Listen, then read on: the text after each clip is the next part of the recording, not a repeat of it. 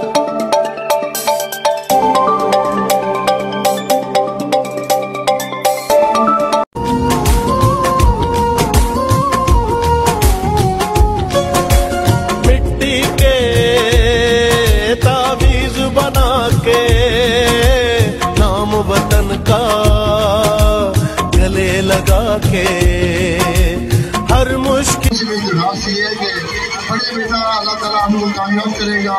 आपने कल मुल्क को कौम की संभाल ली है। आपने कल किसी ने एस को बनना है, किसी ने डी सी बनना है, किसी ने कमिश्नर बनना है। तो मेरी बेटियाँ भी डॉक्टर बनेगी, कोई कुछ बनेगी तो लिहाजा बेटा जितनी भी तालीम हासिल के ज़ोर देते मोबाइल को छोड़ दें। मैं हूँ आपका मेज़बान मोहम्मद असलम और आप देख रहे हैं अर्ज़ पाकिस्तान न्यूज़ कराची। नाजिन, थाना जमान टाउन के S H O Rao Rafiq साहब, एक अपना नाम, एक अपना इमरान मियार।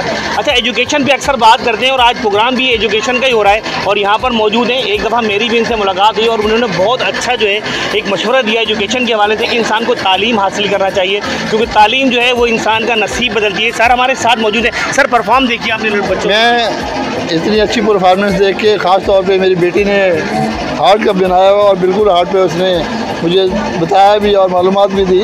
तो मैं इस पर सबको आपको बहुत बहुत शुक्रिया कि आपने मुझे बुला के इस मौके पे बच्चों के साथ मैं बहुत ही खुशी हुई है और बच्चों के जो काम किया है वो देखने के काबिल है। मेरी आपसे दुआ है कि जब भी आप कभी प्रोग्राम बनाए तो मुझे हर दफ़ा बुलाएँ। मैं आपके लिए हर दफ़ा तैयार हूँ, हर टाइम तैयार हूँ। नादिन ये नादिन ये राव रफ़ीक साहब हैं, थाना दमान टाउन के एस बड़ा अच्छा किरदार है इनका। जितने अरसे से भी ये थाने में हैं अलहमदिल्ला लोगों ने बहुत इज़्ज़त करी इनकी। और आज भी जिस प्रोग्राम में ये मौजूद है, ये एक बाकिरदार प्रोग्राम है। और यहाँ बच्चों की हौसला अफजाई करने के लिए मौजूद है। तो अपने मेज़बान को दें इजाज़त।